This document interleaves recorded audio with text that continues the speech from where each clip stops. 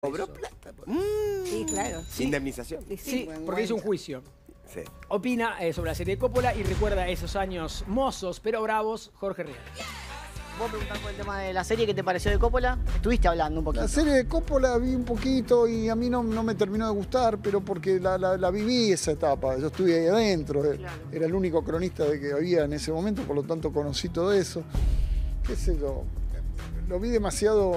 demasiado una- Juan es un actorazo del carajo. Me parece que fue más por el camino de, de imitarlo que de interpretarlo. Corriendo la actuación de Juan Minujín, eh, vos viviste los hechos. Eh, ¿Están muy ficcionados, como se dice? Está agrandado como todo lo que Coppola cuando te cuente le pone el IVA y está claro que la influencia de Guillermo. Pero Guillermo es un gran narrador, así que hay que tomarlo como eso. Pero lo que cuenta es verdad. Se quedó corto. Los 90 eran mucho más duro que lo que cuenta de Diego. Hay una anécdota que quizás vos nos podés ampliar si fue así o no, que dicen que vos fuiste con Marcela Tauro al cielo Sí. Y nos Y cagaron a palo. eso. Me cagaron a palo a mí. por defenderla. Ni siquiera fue así. Fuimos al cielo, se inauguraba el cielo, no dejaban entrar cámaras. Yo era muy amigo de Poli Armentano. Cuando me ve Poli me dice, pasá. Pero sin la cámara. Le digo, no, como que yo ahora te diga, entra sin cámara. Entonces le dije, no, sin cámara no puedo. Y ahí se arma como una discusión y. Amo la Tauro. Pues. La Tauro de atrás grita, lo que pasa que acá venden falopa. Y salió uno de los socios de Poli, un creo carnicero, creo tenía un frigorífico, un, mono así.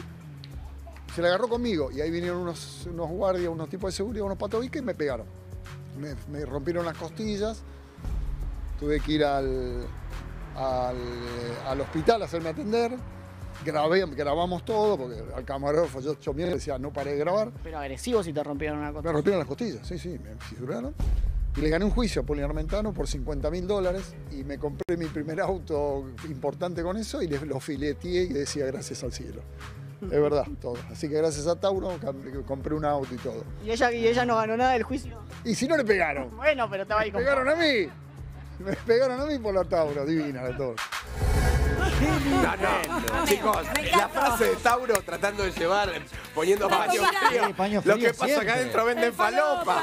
No, O sea, no, Real no, se no. salvó que no lo maten, chicos. Sí, sí. No, Una Y Tauro es algo que no la. No, aparte Tauro, cosa que siguió haciendo toda la vida con Real.